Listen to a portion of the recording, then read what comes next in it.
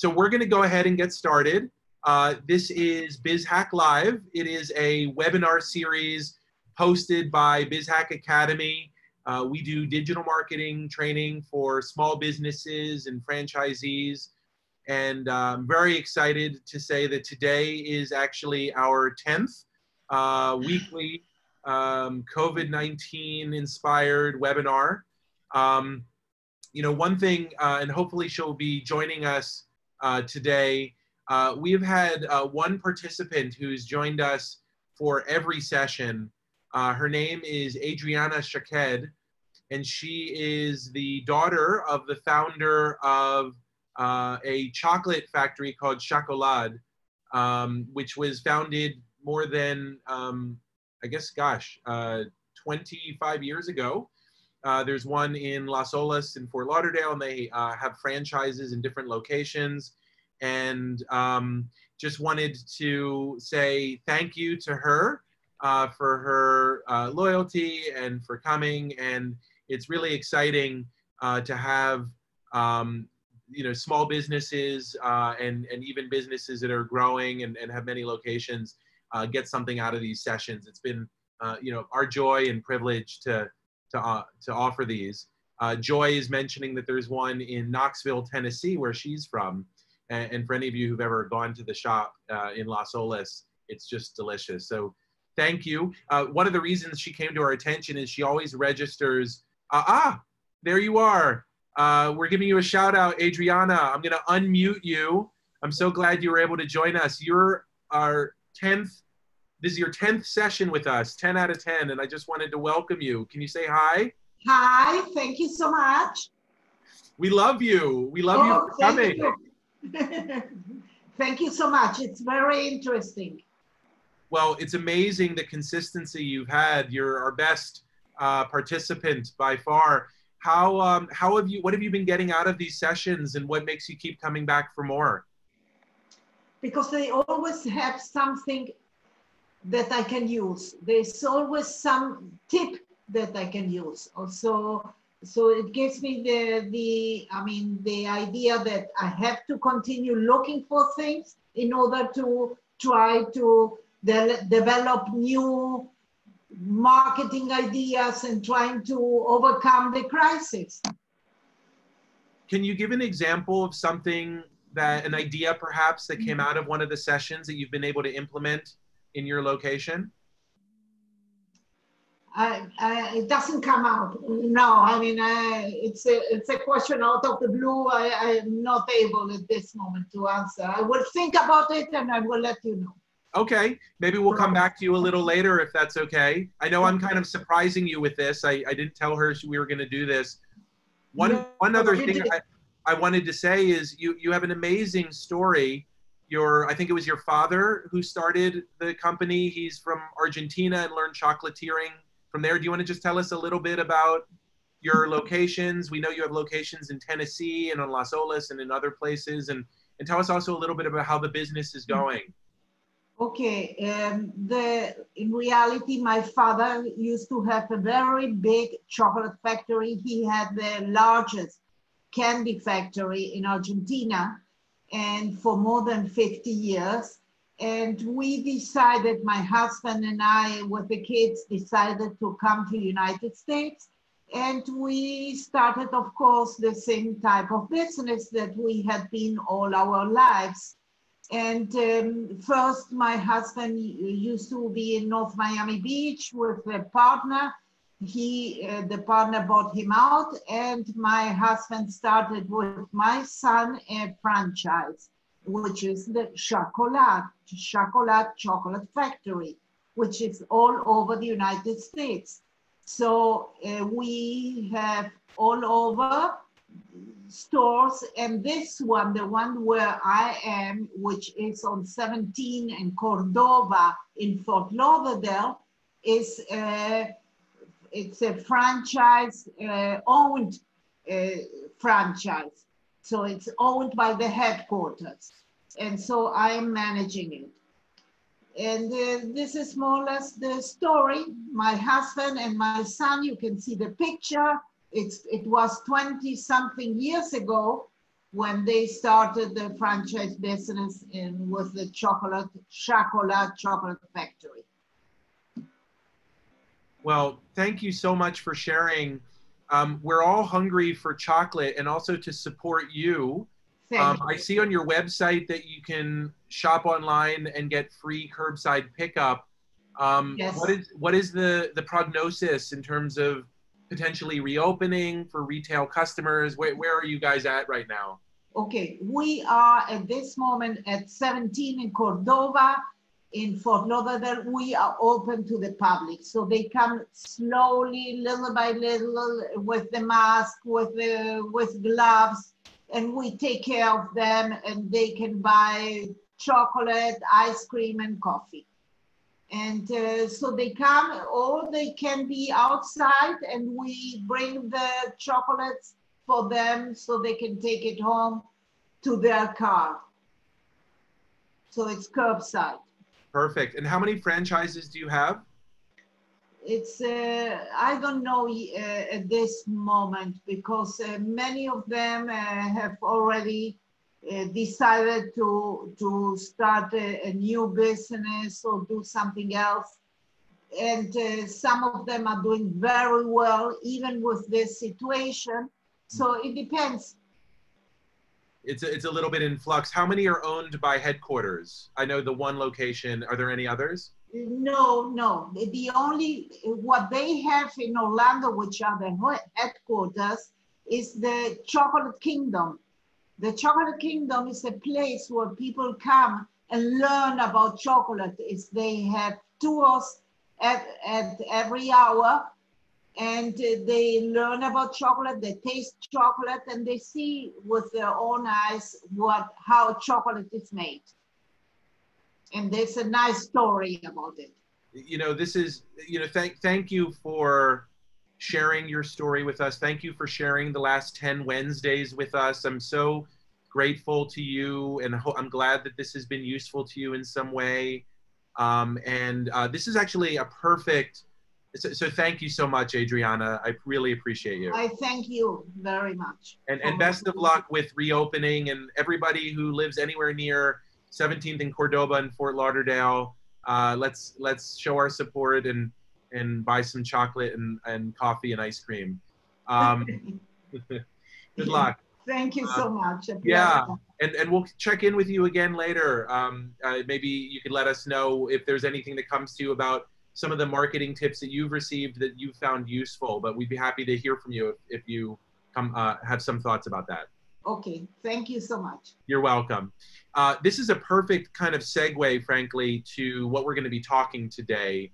Um, obviously, um, you know, Adriana is part of the BizHack community, um, a community that we're building week by week with these webinars and with our courses. And uh, if there's anyone in South Florida who's more expert in building community, um, it's uh, Shana Ostrovitz. And so we're going to be talking about the power and potential of uh, building community for your business.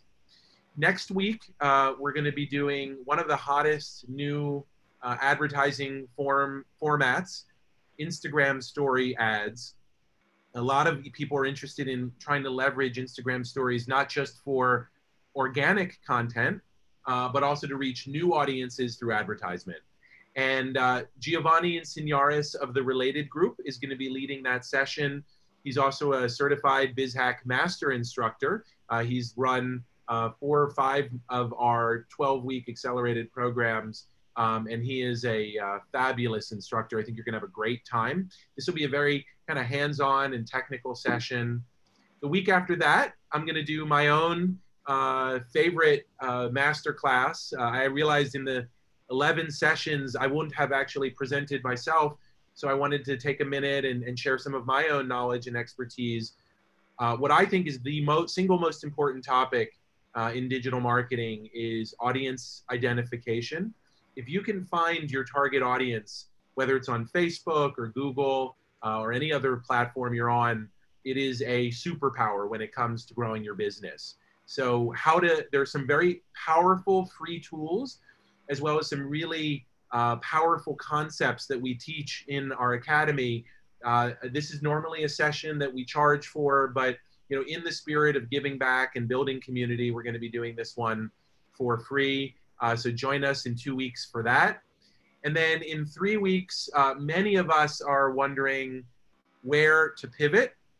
And Jennifer Hudson, a corporate communication strategist, uh, has really good advice, uh, which is how to, uh, which is to start with your core values. And once you've identified your core values as an entrepreneur and the core values of your business, the question of where to pivot becomes much more manageable and much easier. It's not simply about opportunity. There's a lot of opportunity out there. It's how to pick among various options. And the answer is start by looking internally and understanding your values. So those are our next three sessions after today.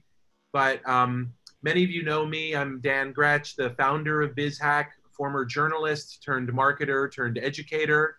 Um, I am uh, also someone who um, is very proud to be running a business with uh, our tribe, our community of biz hackers. And I consider everybody who's on today's uh, call, uh, webinar, as well as everyone who has graduated from our accelerated program in digital marketing for small businesses to be part of our community. Uh, we call them the biz hackers. So you are all biz hackers by virtue of being here today. And we do have a private Facebook group uh, where the alumni uh, businesses of our program meet and interact and uh, continue to grow and thrive together. Um, if you're interested in becoming part of the BizHack uh, private community, um, we have a five week accelerated course that we offer. And by virtue of taking that, you then become part of that marketing group. Um, and uh, our next one is starting a little bit over a month from now. If you're interested in learning more, you can uh, check out our syllabus at try.bizhack.com slash syllabus. And if you're interested in having an application interview with me to figure out if the course is a fit for you, just go to apply.bizhack.com. So with that, I wanted to introduce our featured guest for today, uh, Shana Ostrovitz. Um, Shana is going to be talking about how to offer a solution to that problem that is bigger than any product or service. So obviously, uh, every business is out to solve a problem, but the solution has to be bigger than your product or service, or you're not going to have true longevity, according to Shana. We're going to talk about how to identify the problem your customer is dealing with now uh, and reassess that over time to make sure your business stays relevant. That advice is never more relevant than during the changed environment in which we all live now. And then how to build a community of loyal customers who will stick with you over time and through changing situations. Shana's superpower is building communities to empower businesses. She does that, uh, she's done that in various ways throughout her career. Currently, she's doing that as the executive director of 1909, which is a Palm Beach County nonprofit that is dedicated to accelerating entrepreneurs they have a co-working space. They offer mentorship and education. I've been a guest speaker at a 1909 um, educational program. She's also the co-founder of Rooster Local, which is a company that is dedicated to helping service entrepreneurs grow their businesses. You're going to hear a lot of lessons that she got from building Rooster Local, uh, as well as uh, running 1909. She's worked in corporate settings at Procter & Gamble, GE, the American Diabetes Association, and Bacchus Global.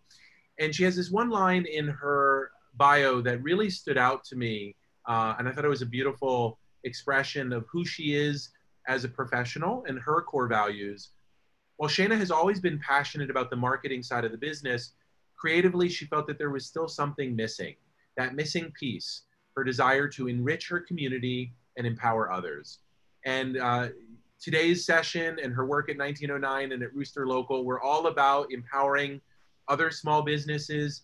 Uh, and so that with that, I want to welcome Shana. Uh, thank you so much for being here today.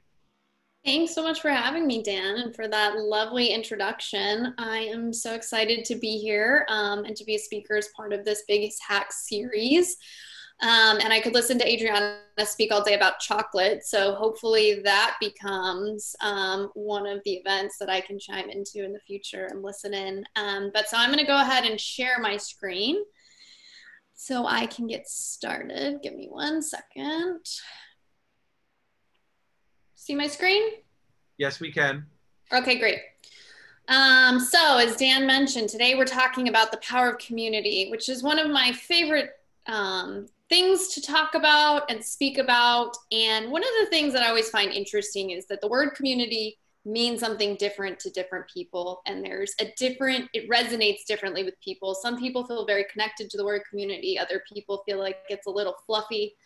Um, to me, it's always been something that I have either unintentionally or intentionally been a builder of and a believer in um, throughout all, all of my journey. And essentially, what I mean by community is the people around you, whether it's customers, mentors, your team, whoever it is that supports you um, along your journey in life, but especially as an entrepreneur. And for those of us who are business owners, um, entrepreneurship can be very lonely. It is a daunting task. It takes a lot of creativity. It takes a lot of hard work uh, takes a lot of uphill climbing, and um, doing it alone is one of the hardest ways you can do it. So it's hard, anyways. Um, and my philosophy is that having a community around you and a support system around you uh, makes that journey a little bit easier, a little bit more fun, and usually more successful.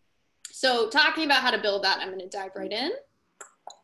Let's see how I can get this slide. So, um, Dan gave me a nice introduction, but just kind of want to tell you a little bit about why I'm here speaking with you and um, talking about community. So, as you mentioned, I have a background um, from the Fortune 500 company side and some large brands like Gillette and GE and the American Diabetes Association. And um, some of the biggest takeaways I learned from those big organizations is their processes, especially around market research and learning their customers and understanding what it means to really identify the problems they're solving and speak to it. Um, you know, from the nonprofit world, same thing, you know, really being mission driven. And then as an entrepreneur uh, myself. So, about six years ago, as Dan mentioned, I started a company called Rooster, which was here, uh, based out of Delray, but covering all of um, Palm Beach County to support solopreneurs in the service industry. And, um, you know, when we went out to do this, we had this big vision of how we were going to help people, and everybody needed uh, technology. And that was really our belief, is we knew that small business owners uh, needed help, and we knew that um, we could do that, and that, that we had access to providing people an easier um, way to get to customers and to manage their business. And we really started driving towards technology and building an app and offering a technology solution that we felt would make our customers' lives easier. Um, and we talked to customers. We went out, we talked to them a lot. Um, you know, we asked a lot of questions about the product, what they wanted. Uh, do you want this feature? Do you want that feature? Oh, what if you had this? Wouldn't it be amazing if you could easily take credit card this way? And of course, we got all this feedback through that type of questioning that we wanted which essentially made us feel that we were uh, had the golden ticket right? That this technology solution that we were building this product was going to change the world and was going to be the end all be all. Um, and at the same time through building this technology and launching this business one of my goals was to do the marketing and build a business side around that. So one of the plans around that was to start offering events and programming and really work with the business owners that we were working on um, really transitioning onto our technology on a one-on-one basis. And it was a very interesting experience. And one of the things that we started to learn over time and over time was people wanted to pay with us they wanted to work with us they wanted to learn from us and they did not care about our technology. They wanted community and they wanted connection and they wanted our educational se- sessions and they wanted to meet with one another. And everything we said that we wanted to do to help them they wanted but they just wanted it in a different way. And it was really hard for us actually to accept and acknowledge that and to say we were so focused on one way to solve this problem. And we spent a lot of money on it and we fundraised and we built an actually incredible technology tool that we actually were able to sell and you know somebody else can use so i'm proud of that still but it didn't it wasn't what the customer wanted. It wasn't actually solving the problem in a way that the community that we were looking at and trying to help wanted our help. And can I, can I dig in with that with you on sure, that? Sure yeah. Um, i can imagine the tortured conversations between you and your co-founders as this was dawning on you. Can you put us into that boardroom, that midnight conversation, that you know, that fight, whatever it was? Could you just tell us, like anecdotally, how this dawned on you and your team? It probably the realization came and because you were so in touch with the customer, it probably came to you first. How you how you had that aha moment and realized that the technology was almost secondary. I'd love to just dig into that moment for a second with you. Yeah, you know, it was, I wouldn't say it was like a moment. It was definitely an overtime realization. And I think it was something we were, to be honest, resistant to. And even me, you know, who was on the front lines talking to people every day because, you know, again, we had spent so much time and energy and money building something that we thought could work. And it's hard sometimes to step away from that and to say, maybe that's not right. And so, what we really started seeing and what um, I started noticing was that we had a lot of engagement in the other things that we were doing. There were certain things that we got a ton of engagement on. They were very easy, they were great lead generators. So anytime people engaged with some of those events or some of those activities, or as guests, they wanted to join, right? They wanted to sign up, they wanted to pay us. So it became very clear, right? When you're selling, strategy becomes easy because you're offering something of value, I think that's when it really dawned on us. We're doing something here that people want and are asking to pay for. And then over here on this side, we're trying to sell something and encourage people to do something that they're not really grabbing onto.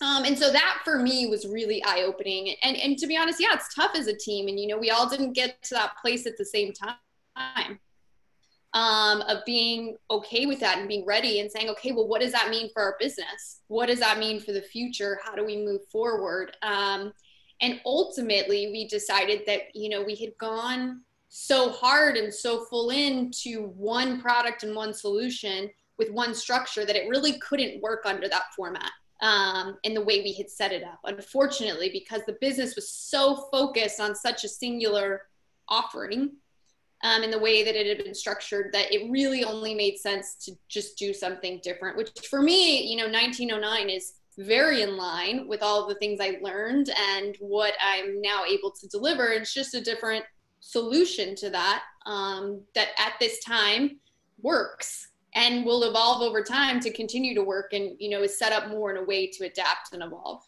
Yeah. I want to unpack what you just said because i think what you said is so profound and important and then I'll give you back the rein. But first of all, I, you said when the selling strategy becomes easy. And I think so many of us who are business owners, we kind of have come to assume that business is hard, that you're going to grit your teeth and you're going to just make it because you're resilient and you never give up. And I remember Max Borges, who runs the Borges Agency, the Max Borges Agency, said to me that about a couple years into his business, he runs a digital marketing agency.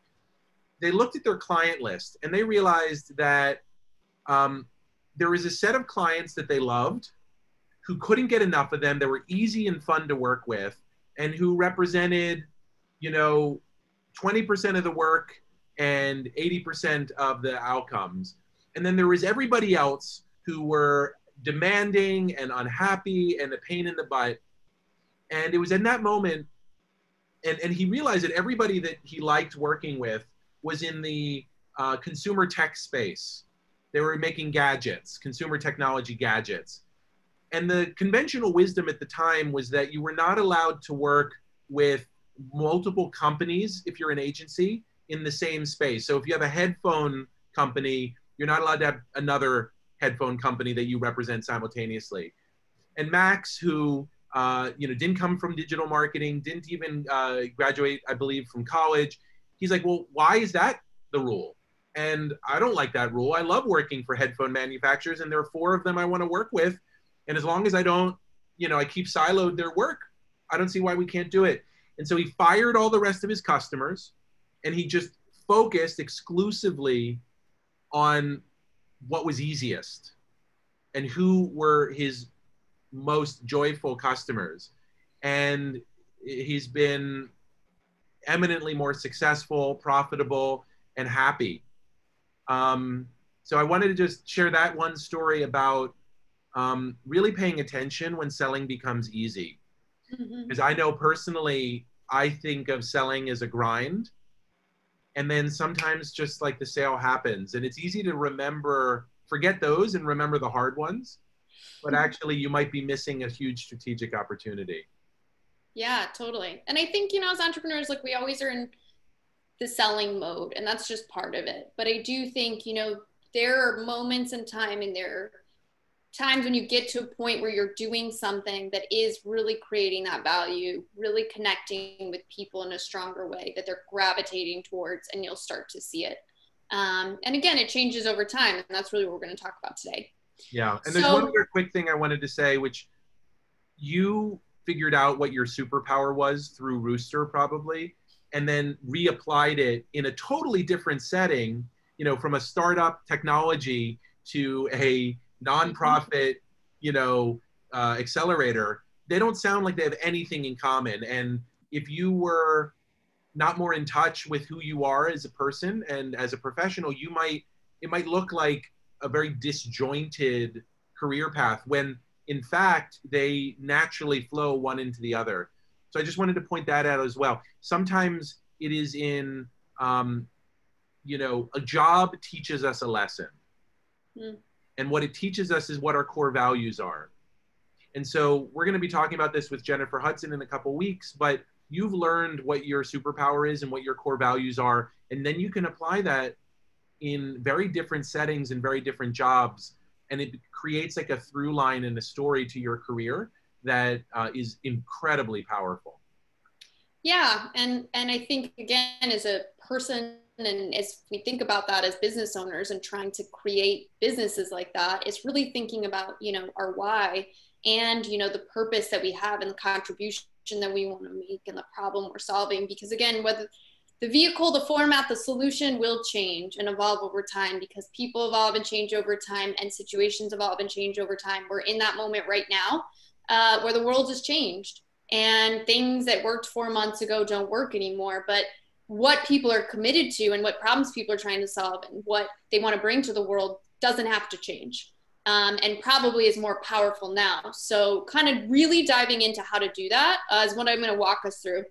And I'm going to call it, you know, we're going to kind of go back to basics. And I'm doing that because I want people, even if you're a business owner already, you have things structured a certain way, you you know have an idea of what your product or solution is it's always really good to just have those moments of evaluation and um, just thought around kind of what you're doing, whether it's a reminder and a refresher or it's a brand new idea. Um, it's good to kind of go through this process, which I'm going to walk us through. So, to get us in the right mindset, I want to do a little exercise, which is walking through a couple business cases. Um, that I'm going to talk through about. There's some of my favorite examples of businesses that you have heard of and you know, um, but that have really different backgrounds and came to life in very different ways. So, the first one and you can type in the comments if you know. Oh, wait, hold on. Here we go. So if you know who this company is, type it in the comments. Um, and you won't get a prize, but you will be very cool if you get it right. Um, so this business, um, the product they were working on was developed by an inventor and visionary who holds more than 100 patents. Um, they had significant financing. They actually spent about $100 million developing uh, this revolutionary technology product. Um, before the product was launched, it was predicted to reach um, a billion dollars in sales, which was the fastest in history for a product launch like this. Um, Steve Jobs and Jeff Bezos, who most of you probably know who they are, uh, were visionaries in their own right, said this would be revolutionary, um, and they were able to launch the product on Good Morning America. Does anybody know who this is? All right, give us a minute. Um, we need at least five people to type in. Hmm. Uh, if we don't get five, we're not moving on. So go ahead and type your guesses. Give a guess. All right, so we have uh, Andrea, Davidowitz uh, using a question mark with her guess uh, uh, for Segway. hmm Uh, any others?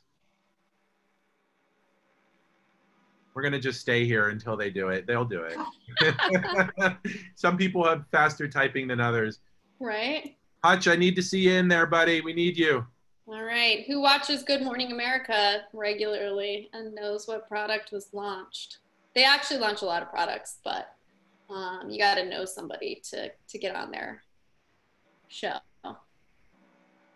All right. Hang on. We're gonna give them a minute more. I'm, Uh. I'm, I'm, I'm gonna make this painful for them if they don't do it. Here they come. Shakira guessed the iPod. okay. Hutch is stumped. Mhm. Gerardo Reyes said the pet rock. I love that answer. That's four guys. We need one more guess. Lilia, you can jump in.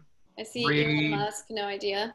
I see you all. Melissa France, I want to hear from you. Marla, Ruth Ann, feel free to jump in. Smartphone. Okay. We got a couple. All right. All Good. right. Thank you guys. So the first answer was actually correct. So it was Segway. So Segway is uh, one of my favorite business examples, and they've had several case studies written about them. Um, because Segway was a revolutionary technology. Actually, the technology that was developed for the Segway has been used in many other products that we've seen, um, and the concept around it has been used and has ended up being very successful for other companies other than Segway um, because Segway didn't make it.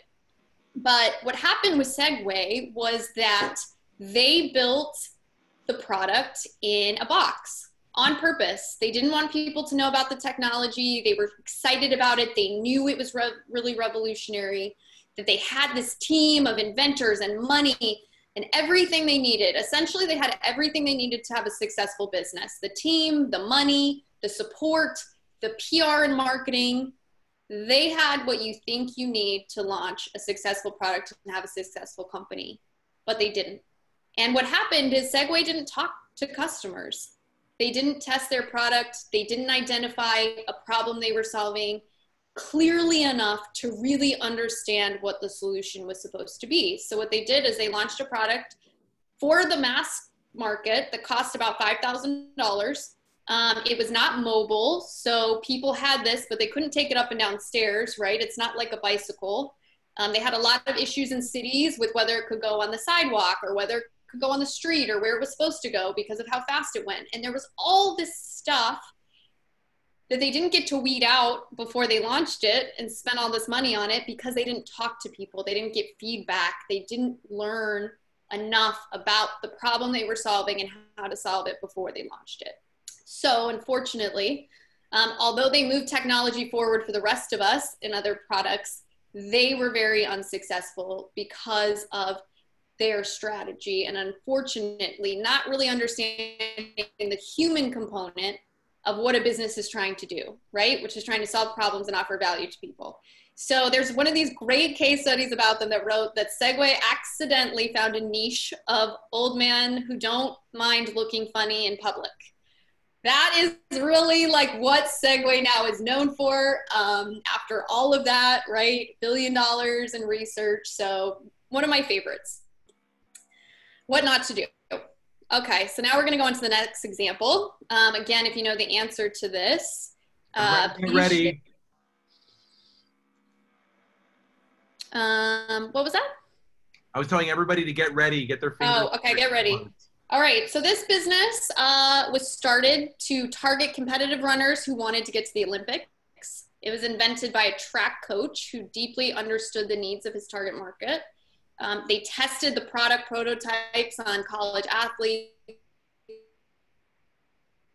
before going to major manufacturing.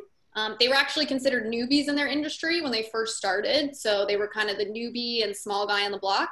Um, and the founders were actually known for keeping their day job for about the first 10 years uh, that the company started to keep the bills low and to really validate what they were doing and create a successful business.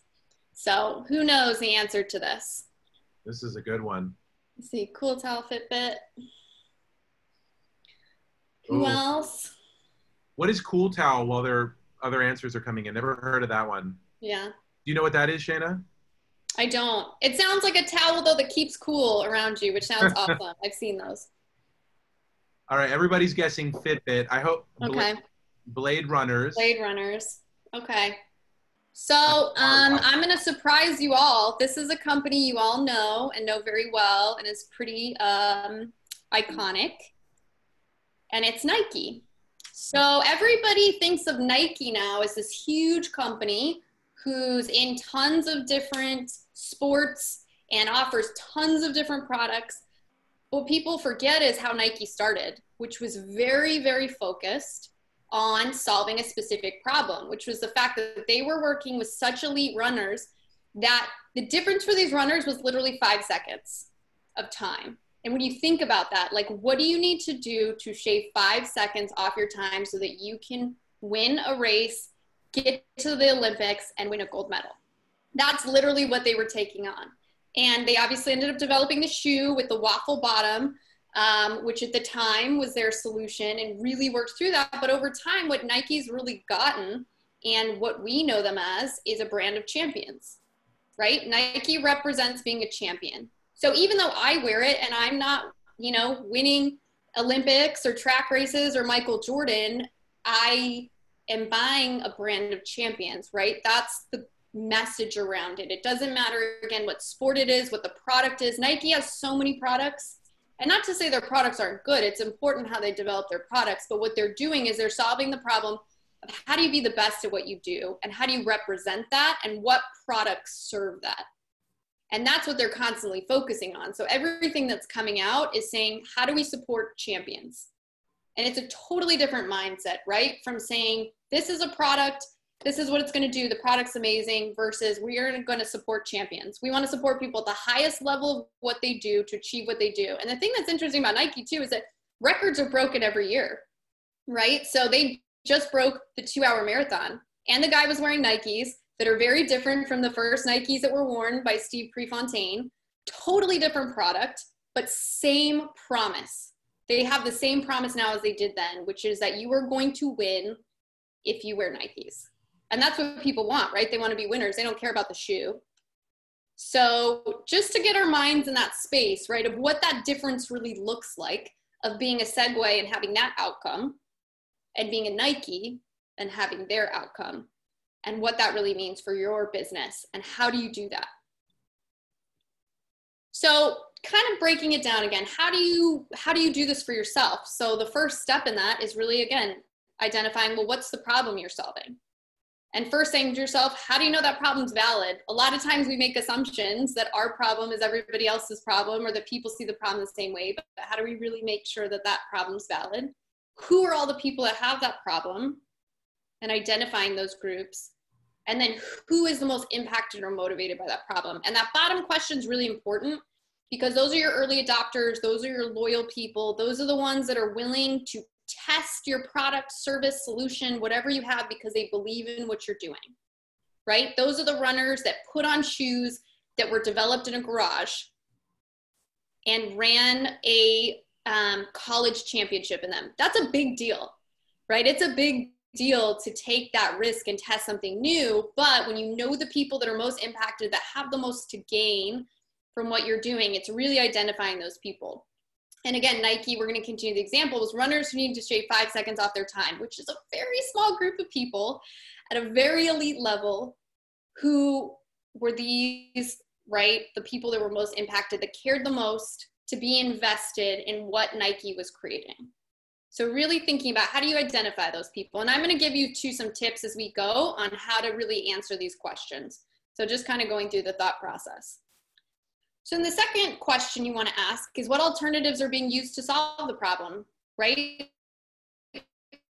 So what are people using now or instead of to solve the problem? And what are the strengths and weaknesses of these alternatives? And again, these are really important questions to ask because they help you identify where you're unique.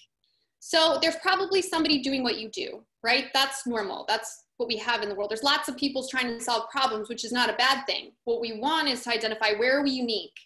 Where are we offering something that nobody's offered before in a different way or that supports people in a different way so again and again i'm just going to keep the thread of nike so what who, what were the alternatives? So what people were running in were shoes that were built for non-runners.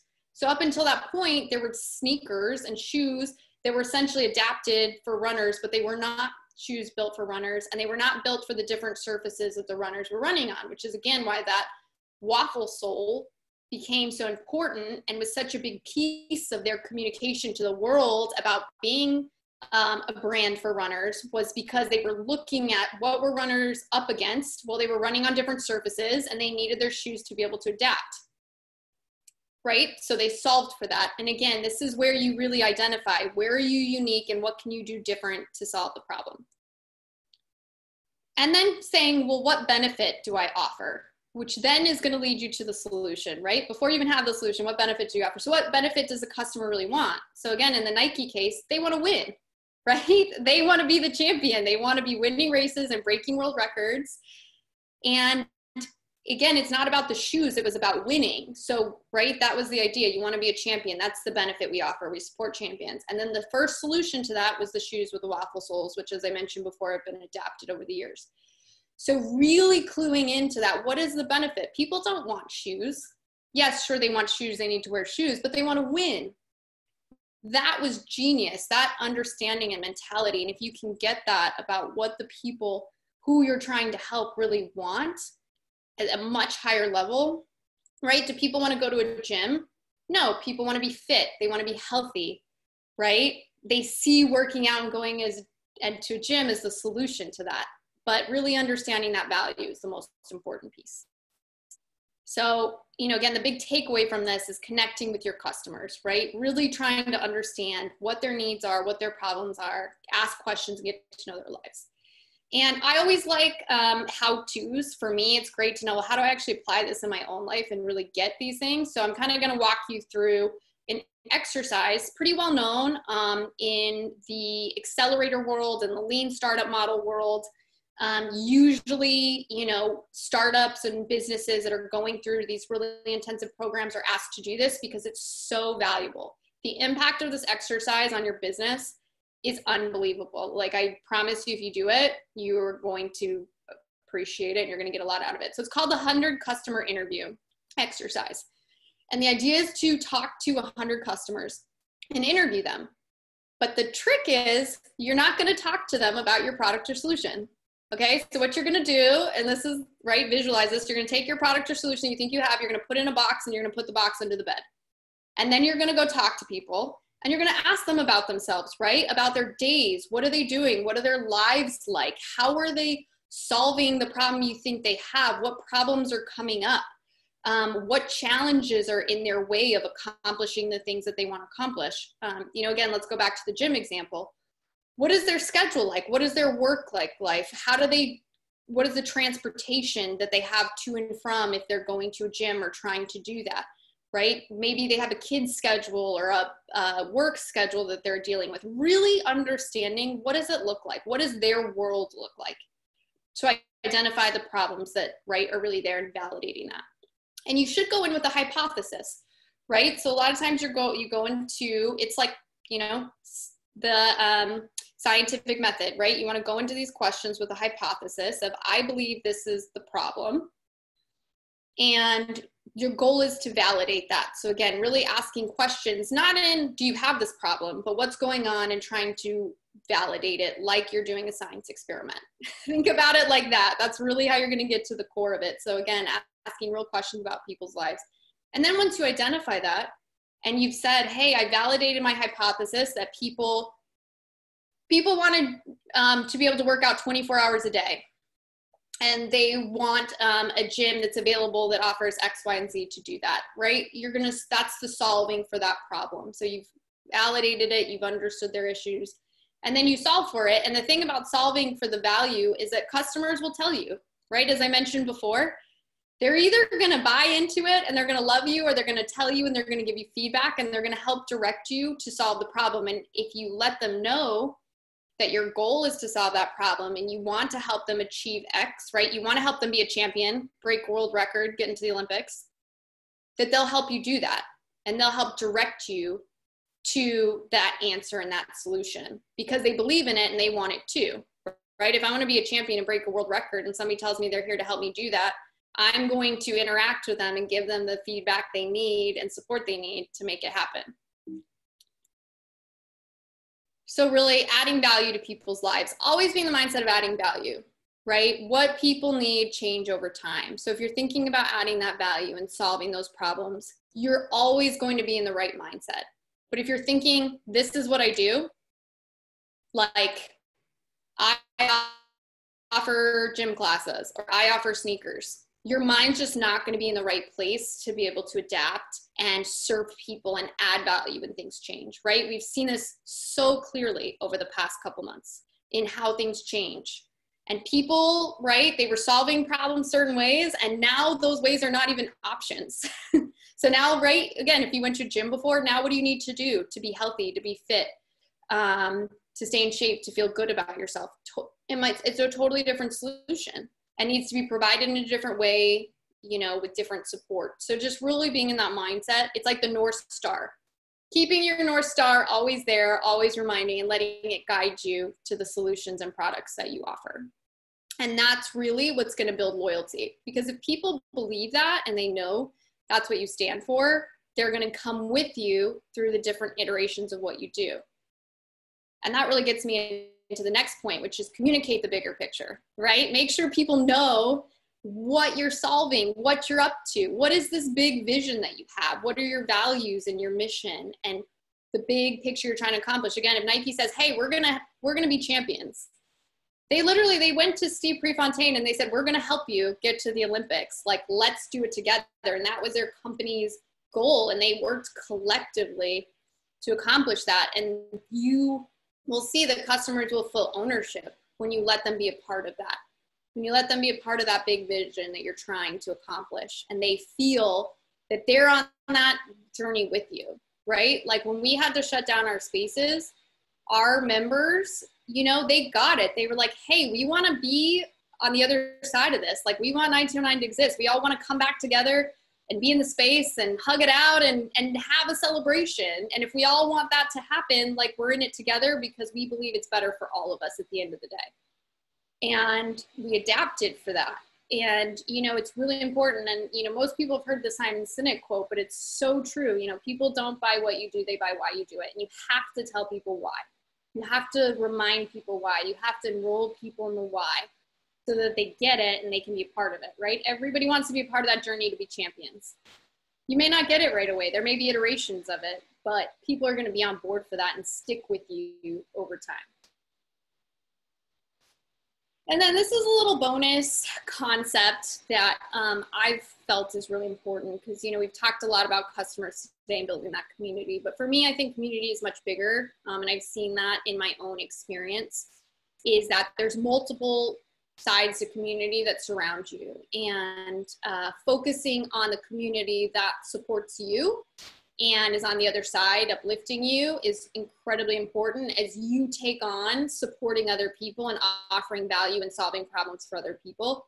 Um, it's great to have a community with you. So um, some you know community uh, you know attributes that i consider mentors so you know if you don't have mentors, maybe you have unofficial mentors, official mentors. You know, Dan and I both been part of a program called VMT, the Venture Mentoring Team, um, which is incredible.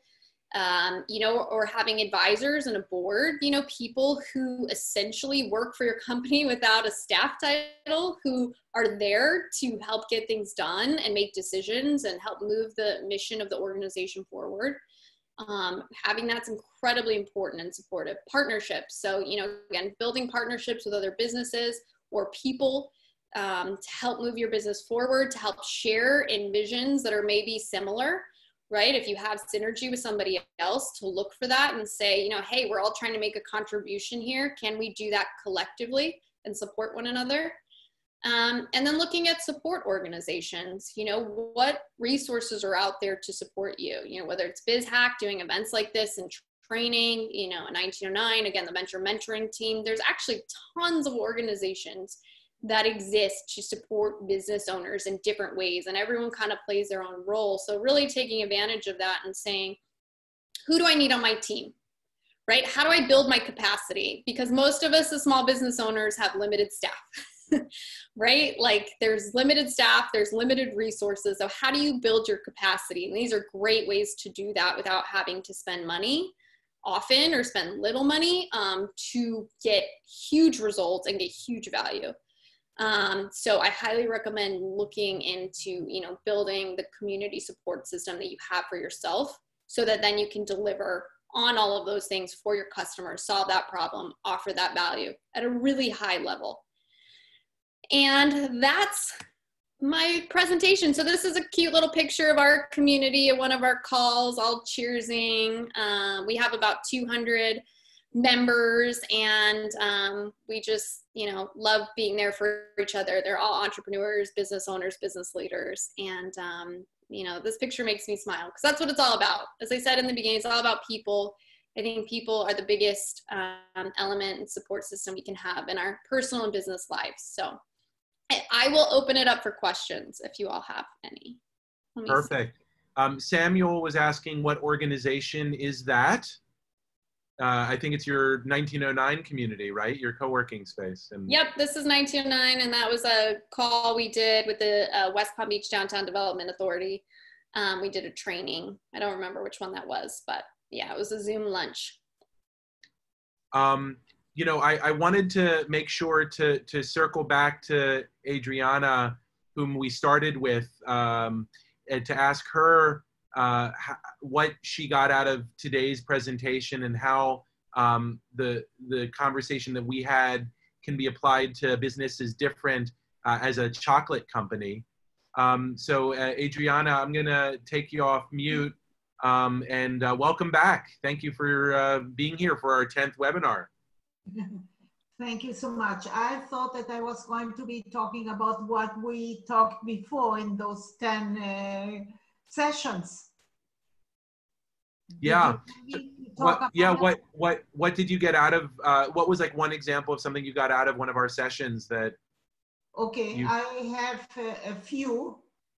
For instance, in your session, when you talked about digital marketing resources, for small businesses and you gave a list of different resources. So I even mentioned one of them, LinkedIn, with the 16 LinkedIn learning courses for free. I mentioned that in my in my LinkedIn uh, um, post, and uh, people were very happy to hear about that. So that was one. Can you hear me? Yeah, we hear you beautifully. You know, I'm going to actually but before you go through your list, I, I don't want to lose the thread about community, but we'll we'll come back to you in a few minutes so that okay. you can wrap up this session. But because um, I don't want to lose the um, the thread there, but I'll be back with you, okay, in a few minutes. Okay. Perfect. Um, you know, one of my favorite community builders in the world is Florencia Jimenez Marcos. Flo, Flo, are you are you on? Are you uh, able to unmute yourself? She might have actually just left she was she does such a beautiful job of creating community. Uh, another great community builder is Jerome Hutchinson. Hutch, um, Hutch, I see that you're off mute.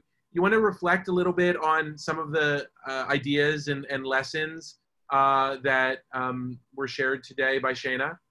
Sure. Um, first of all, great job. Um, yeah. Yeah.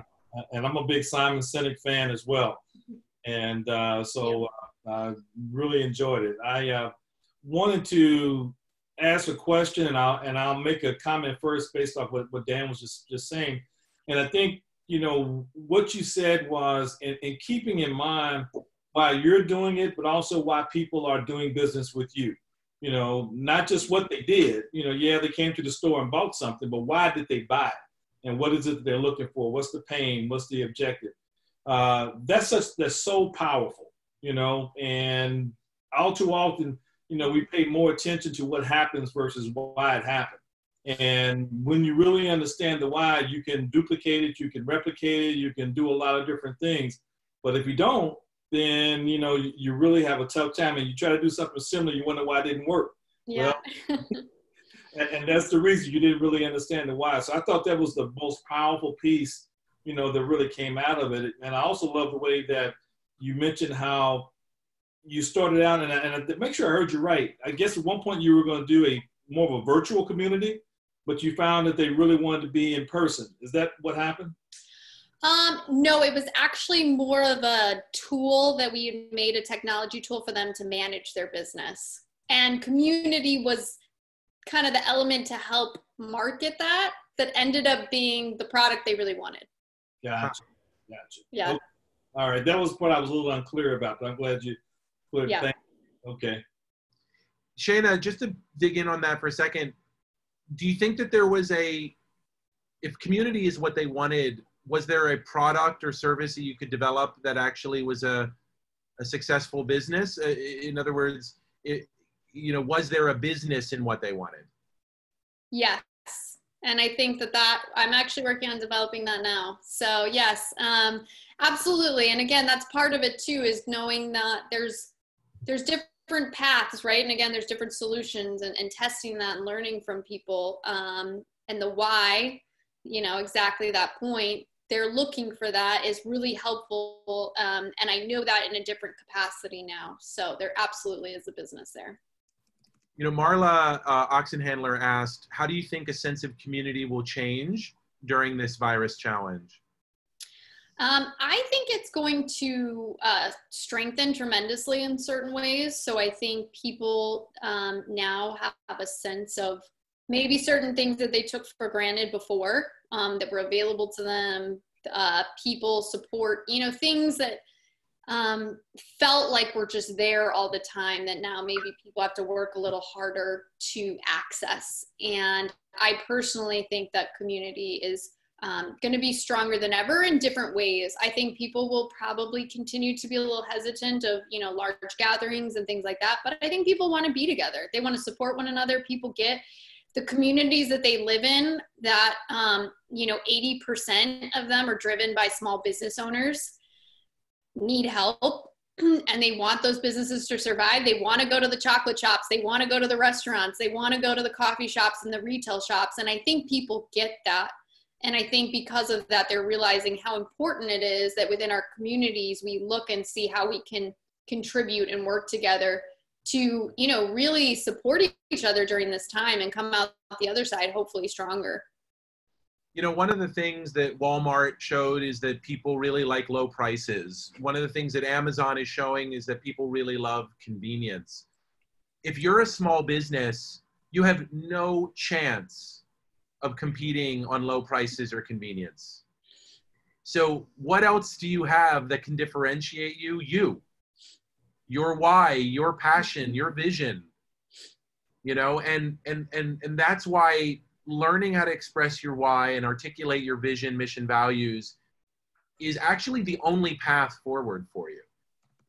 Because if you don't do that and you're just a useful product, you're putting yourself at tremendous risk of getting copied by a, a big, uh, a, a deep pocketed uh, competitor. And one thing I'll say about small business is a lot of us have a big reservoir for desire for small business in our life because so much of the joy that we get as a consumer comes from going to that amazing restaurant or that incredible chocolate shop and you know even if it's a franchise it's still a small business but that reservoir of good um, of, of good faith and and desire is not endless and what I'm seeing right now in the small businesses in my life is some are doing a fabulous job of staying in touch, and others are doing a terrible job of staying in touch. And I worry for those ones that are doing a terrible job because I want them to survive too, but I can feel my bond to them weakening. And that's what you need to be worried about right now is if you're not communicating actively and providing value and solving problems in whatever way you can in this moment the bond of loyalty and the desire to see you succeed is just it's slowly weakening and suddenly ah the cheaper price or the greater convenience will win out Yeah, I totally agree with that. I think that people want to hear from you. They want to know what you're doing, even if you're not open. You Yeah. know, knowing, um, reminding them of that story and your why and that connection is huge. um, because people will remember. Um, Melissa France, are you able to take yourself off mute? I know you've been at a bunch of our sessions and you're you're someone who's been amazing at building community throughout your career. I just wanted to hear your reflections on on what you heard today as a as an entrepreneur and as a professional. My goodness, thank you. um, I never thought of myself in that way, but um, I thought it was excellent. I've been diligently taking notes over here because I am getting ready to start a new, uh, really ex- taking what I've been doing to the next level, and I'll be launching within the next week or so. And where I've been out of touch a little bit with the community that I have created, which is a small business vendor artisanal community, just so you know. Um, and the name of my company is eventvillage.world. Um, I'm I'm taking problems that I saw through my experiences and now translating it into trying to improve certain roadblocks that were there and certain difficulties and struggles and time consuming things that were happening. And then all of a sudden corona and I had to pivot again which I am doing. And but at the same time um, i'm passionate about what i'm doing and i'm very focused on my why because eh, you know as you said dan and uh, shana that's what's going to make me different from amazon and even facebook now is getting in the game so um, you know no i i was particularly interested in uh, this this uh, little webinar that you were doing today because of the the importance of building community and engaging people. Perfect. Thank you. Thank you for sharing that. It's great to see you here. Um, one other person I wanted to ask, uh, Shakira Johnson. Shakira, are you able to to say a thing? Because I know you're building uh, a community in the work that you do as well. Um, let me see if I can. Hi, Dan. I'm here. Can you hear me? Yeah. So tell me how today's session landed for you um, in terms of building community and what you're trying to do with your lifestyle brand? So it landed in two ways. One, the Segway example was um, frustrating. Yeah. it was frustrating because they had it all. They had it all um, and, and, and dropped the ball. Um, so that was frustrating. And just to think about um, the privilege and the opportunity and to still miss the mark um, because there's a lot of great brands and a lot of great teams that don't have all that. Um, so that that came that was a, there was a little frustration, a little sour patch with that story. Yeah. Um, but in terms of the positives and and community building really thinking about what problem do you solve for them um, and that a lot can just come from listening um, so for um, my brand omg i didn't even know. So hutch made a point about sometimes you're doing things that are good and you don't even know what it is. Um, so we didn't really understand what value we were adding but we we came to find out we were bringing confidence to people and self-esteem to people um, to women specifically women and their children women and their daughters even more specifically um, so through listening we were able to find that out and then double down on that. So um, that's another piece is just the listening to what um, your either would be customers or community base or your current community base is saying and then to take that and double down on it so that you can really see what their problem is um, and what value you're really adding to them so then you can increase that so those are my takeaways but the Segway one is just blasphemous like almost like it is frustrating. I know. That's why it's such a powerful example, though. It's just like wrong. I know. But it's good to, it's good to share. It's good to share. Um, well, Shana, I'll give you the last word before we bring it back to Adriana and wrap up. Um, any anything, any final thoughts you had about uh, that you wanted to share? I just wanted to say that I just love what was just shared about confidence. You know, that's the that was kind of the point I was trying to create is right. Confidence is so much bigger than clothing or whatever else that is that exists, and that's powerful. That's what people want, and you know, desire that changes people's lives, right? When you give them confidence, that's so incredible to know that you can deliver that for somebody else on the other side, and how powerful that is for them in their lives. And that's, I think, what it's all about, right? What contribution can we make for other people? Um, and then what different ways can we do that? What different ways can we make those contributions and being creative around it and being adaptable? Um, and so I love it. I think that was a perfect ending, actually. I, I'm going to leave it at that because that sounds great. Yeah.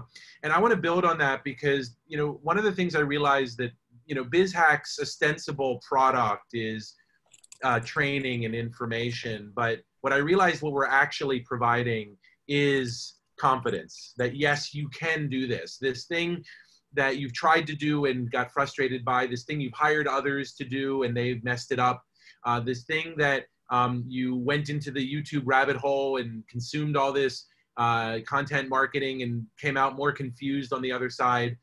This thing, digital marketing, is something you can master and that you can use for your career and for your business. And and that self-confidence is in essence really what our product is to give you the belief in yourself. Um, and once you believe in yourself good things start happening. And that's um, just it's so funny that you can have an apparel brand or an, uh, a, a co-working space or a school and we're all selling in essence the same thing uh, which is community and confidence. So um, you know, with that, uh, I wanted to give uh, the floor uh, back to Adriana to wrap up. Um, if you could just tell us, uh, you know, one, you know, big, big final thought of, of what you've gotten out of these sessions or, or what your biggest takeaway is, uh, Adriana, I would love to uh, hear you share as, we, as we wrap up our 10th session and go into our next decade of sessions.